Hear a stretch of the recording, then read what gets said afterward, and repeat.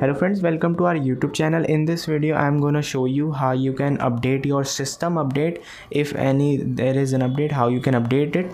Before watching this video if you have not subscribed to our youtube channel then subscribe to our youtube channel and like our video. So let's start friends. First you have to go to settings option and swipe down. You can see system. Click on system and here it is at the third button. You can see system update.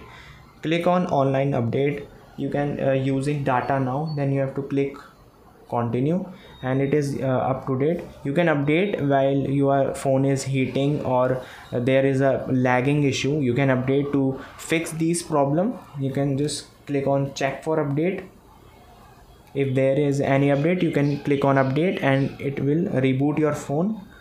And uh, you can uh, fix these hanging problem overheating problems and thanks for watching. I hope you like this video.